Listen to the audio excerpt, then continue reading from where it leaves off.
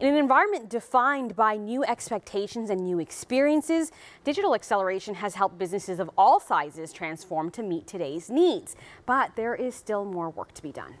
At the most basic level, there is a discrepancy between how easy and efficient consumer payments are compared to B2B transactions. So here to discuss the need for faster, more efficient B2B payments transactions, we're joined now by Darren Parslow. He's the global head of Visa Commercial Solutions. Hi, Darren. Thanks so much for being with us. Thanks for having me. Good morning. Okay, uh, we just heard there, you know, it's an environment that's defined by new expectations, new experiences. Uh, digital acceleration is helping businesses of all sizes uh, transform uh, to meet its basic needs. But let's talk about uh, the digital payments landscape today. What does it look like? Yeah, so clearly we are becoming more digital. Um, but I'd like to say the more things change, the more they stay the mm. same, right? So the digital payments landscape is evolving, but honestly, there's still far too much complication in the B2B space. Mm. Um, and where we've seen consumer payments go, especially since pandemic, uh, when everyone is thrust into digital payments, whether they liked it or not, now we have this incredible interest among companies, whether they're banks or new companies, what we call treasury tech companies that are all over the, the floor here at Sibos, all focus on really making that like next step in digital payments and making sure that we have the same kind of convenience and trust and transparency and reliability that we do in consumer payments. Mm. While consumer payments are becoming increasingly digital at, at breakneck speed, business payments haven't been quite as quick to evolve. Why do you think that is? Yeah. So it's a bit back to what I kind of mentioned on the complication, right? So I'll give you an example. Uh, we talked to a Fortune 50 treasurer just a couple weeks ago. Um, and she said, and she's in the financial space, she's in the digital space, her, her products are digital products.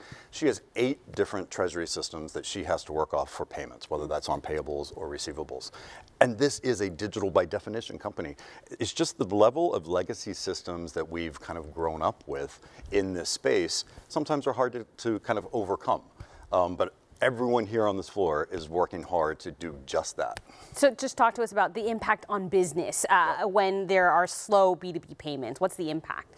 Yeah, so um, it's funny, we just launched uh, a working capital index for uh, growth corporates and where we talked to over 900 treasurers. When you talk to treasurers and you talk to them about like how they use working capital and why they use working capital and their focus on cash flow and cash flow management, they're really focused on like speeding up those receivables, making sure that you've got appropriate cash flow and when you have slow B2B payments, when you have slow payments between buyers and suppliers, you get stuck a bit, right?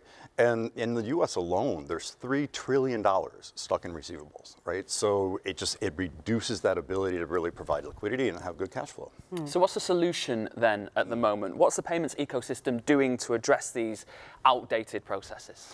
Yeah, so I think everyone is focused on this whole digital revolution, right? Everyone here at Sibos has digital or data-driven or APIs, um, all sorts of partnerships between fintechs, big networks, and traditional financial institutions to help. So everyone's got digital on their agenda. I would say, I would, I would imagine that there's not a company here whose roadmap for FY24 isn't filled with digitizing their traditional products.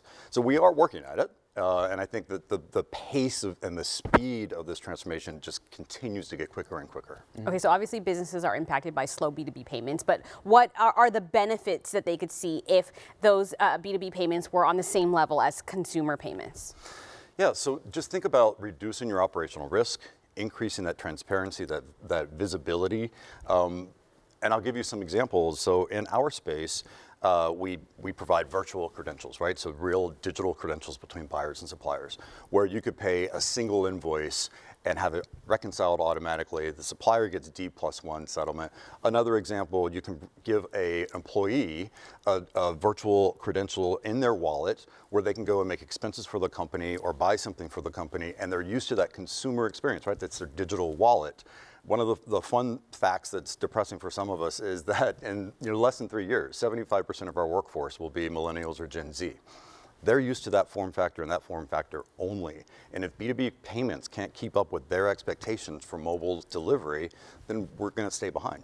Mm. So what's Visa doing specifically mm. to address these B2B payments? Yeah, so Visa has uh, products for all sorts of B2B payments, from micropayments between small businesses and suppliers, through middle market, large corporates, governments. We've got solutions in treasury services and cross-border account to account. So really just a whole focus on the B2B space. One of the things we're really excited about is a network that we launched a couple of years ago called B2B Connect, where we've got over 100 banks in over 100 countries and really focused on taking the friction out of those international big ticket cross-border payments um, and coming up with something that's uh, as reliable, uh, faster, more transparent with more data, and just really exciting stuff.